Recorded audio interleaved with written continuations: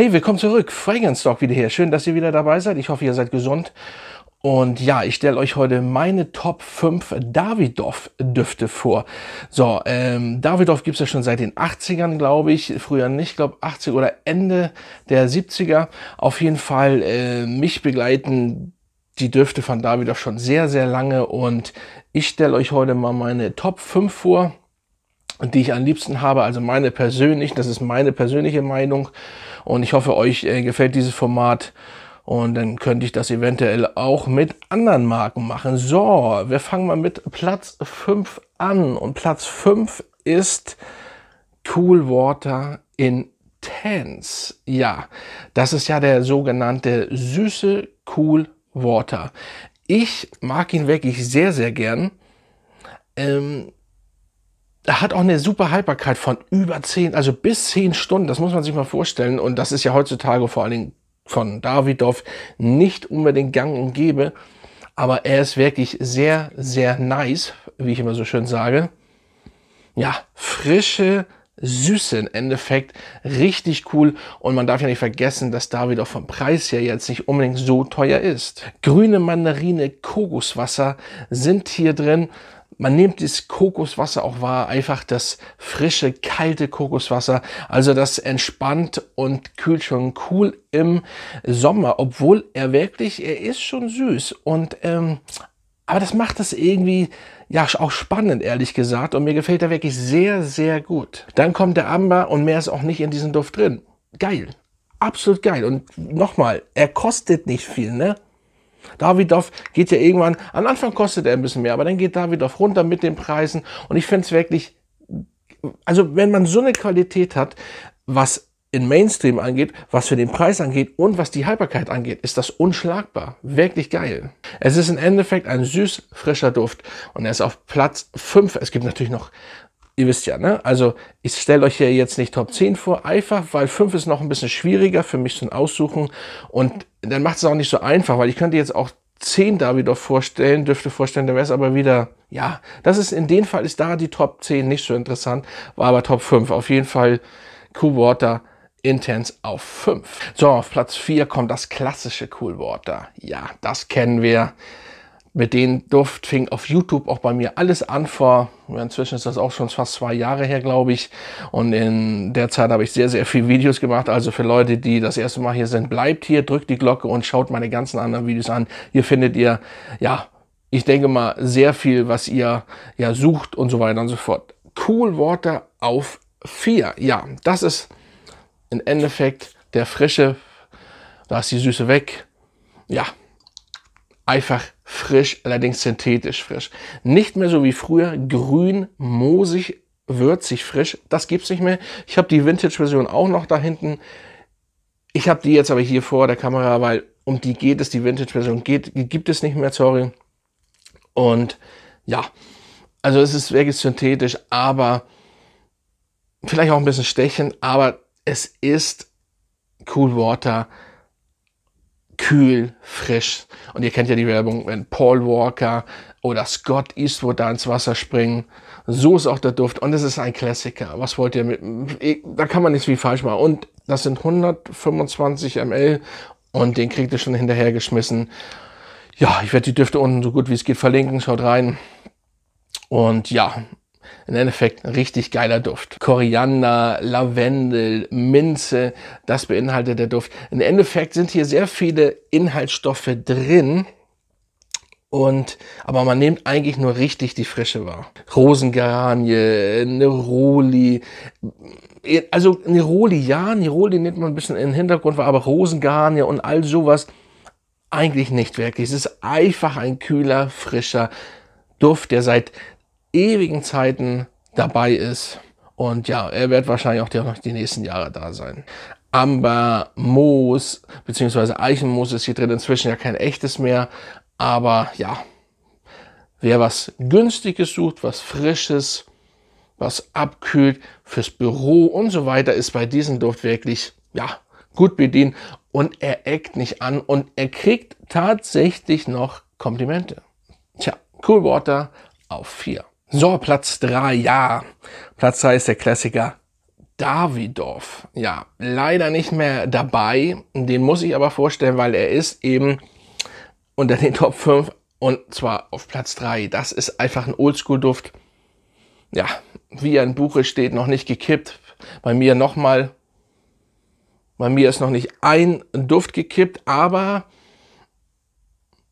man muss diese Düfte mögen. Also es ist wirklich ein richtiger Oldschooler sein. Ich weiß gar nicht, ob das sein erstes, glaube ich, sein erster und das ist auch noch Made in France.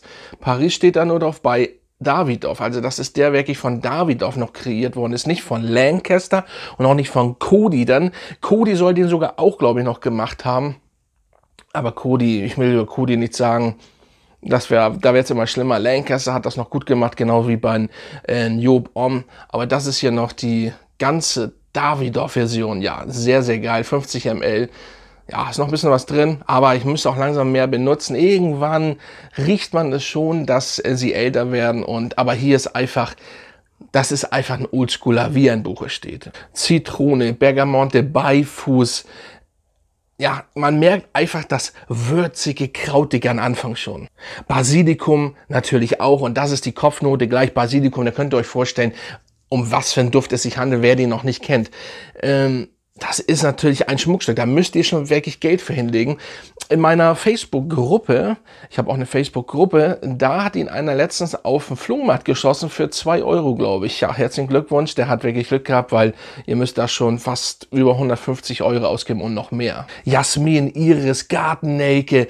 Ach man, alles was so mit äh, auch Blumigkeit, äh, Moos, Eichenmoos natürlich, ist hier beinhaltet. Also ein richtig schöner alter Duft. Im Endeffekt würzig grün. So, so müsst ihr euch den Duft vorstellen. Würzig grün. Bibergei kommt noch. Leder, Eichelmoos. Sehr geil. Davidoff. So eine Düfte geht jetzt leider ja, ich denke nicht, dass es, es geht ja, also viele Trends gehen ja wieder zurück, also in die 80er und so weiter, aber ich glaube, diese Düfte erstmal nicht mehr. Also wenn ihr den findet, ja, dann schlagt zu.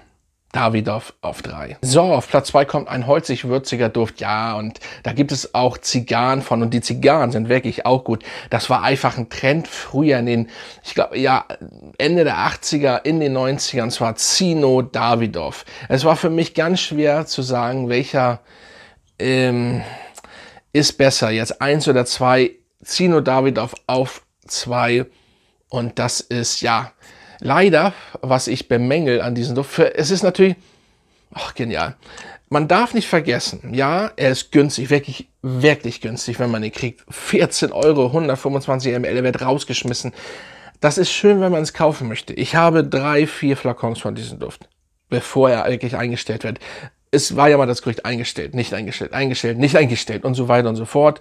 Ich habe keine Ahnung jetzt, ähm, ob er eingestellt ist oder nicht. Whatever, auf jeden Fall sehr geiler Duft, einer der geilsten Erinnerungen von früher. Und wie gesagt, den habe ich früher auch schon getragen. Ähm, also auf einer Hinsicht finde ich schade, dass er so günstig ist. Das ist ein Kultduft und der wird rausgeschmissen für günstiges Geld. So, nochmal, es ist geil, wenn man ihn für so günstig bekommt, aber schön ist es für diesen Duft eigentlich nicht, weil dann denkt man viel. Den gibt es ja inzwischen auch, habe ich auch schon gesehen, bei Rossmann. Okay. Ne? Also war eine Weile bei Rossmann, ich glaube jetzt nicht mehr, aber, äh, oder was auch immer, müsst ihr gucken. Ich werde ihn trotzdem unten verlinken. Es ist Wahnsinn für so einen Duft, weil das ist wirklich ein richtig geiler Duft. Bergamot der Lavendel, das macht es diesen Duft auf, vor allen Dingen der Lavendel, so ein richtig schokoladenartiger Lavendel. So nehmt ihr diesen Duft wahr. Sehr geil. Also, da ist schon niederknien, dieser Duft. Zino Davidoff und dann schön sitzen draußen, denn der Zino äh, Zigarre rauchen, smoken, wirklich nice. Rosengarne, Jasmin, Maiglöckchen, da könnt ihr euch ja vorstellen, wie dieser Duft auch aufgebaut ist. Ich könnte euch natürlich, äh, der hat auch viele Inhaltsstoffe, alle vorlesen, dann könnt ihr euch also es ist schwer immer, es ist auch nicht leicht immer Düfte so vorzustellen. Vor allen Dingen, ihr wollt sie ja auch haben und es gibt wirklich Leute, die kennen diesen Duft noch nicht so. Und es gibt, äh, oder die Leute, die es gibt, die, die muss man einfach zu diesem Duft bringen. Er soll weiterleben. Ich finde es schade, wenn der ausstirbt. Wirklich, wirklich. Das wäre wirklich sehr schade. Dann Amber, Patchouli, Sandelholz und das ist einfach der Patchouli-Duft mit nachher ein Rider schlechthin. Oh, ich muss noch mal sprühen. Das ist Ah, das ist wieder herrlich. Ich habe ihn auch lange nicht getragen, aber ja. Hyperkite, äh, so wie, äh, achso, das Davidoff, das normale, hält natürlich nicht mehr ganz so doll. Fünf Stunden, vier, fünf Stunden müsst ihr nachsprühen. Der ist immer verschieden, deswegen sage ich da nicht zu bei jedem. Manche sagen, der hält wirklich noch neun Stunden, manche sagen, der hält eine Stunde. Ähm, und ich muss euch sagen, ich hatte die Vintage-Version. Die Vintage-Version. Ich persönlich, und die war nicht kaputt, weil ich das weiß. Und es gibt nicht so einen wirklich großen Unterschied zu der aktuellen, so, oder zu denen, die ich habe. Es wird ja wahrscheinlich, da laufen auch viele Batches rum, aber ähm, also sagen wir mal so, vielleicht war ein Tick stärker und ein bisschen tiefer, ja klar, aber das war's dann auch. Und dafür aber 14 Euro oder 180 Euro auszugeben, naja, das ist so ein Ding und dann muss ich ihn auch finden, dann darf er nicht gekippt sein. Und dann kommen wir ja immer wieder dazu, äh, da müsst ihr wirklich aufpassen, das könnt ihr dann nur bei Ebay holen und ja, Vanille und Cedar kommt dann auch noch in Dry Down. Sehr, sehr geil. Zino Davidoff auf zwei. So, und auf Platz eins ja. Davidoff Relax. Äh, da kommt einfach keiner vorbei. Auch den gibt es nicht mehr. Nee, das ist, ja. Ah, ja, was soll ich, ich will eigentlich gar nichts sagen. Das ist so ein geiler Duft.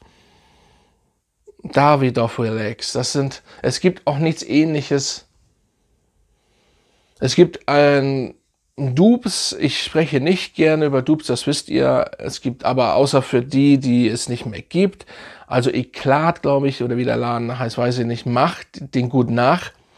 Den habe ich mal von einem Kumpel bekommen, den habe ich auch, deswegen weiß ich das. Allerdings haben die ihre Düfte reformuliert. Oh, er soll nicht mehr so gut sein. Und ja, dann wird es da auch schon schwierig, aber irgendwo findet man ihn, keine Ahnung. Ich habe den Original noch und das ist einfach ein Traumduft.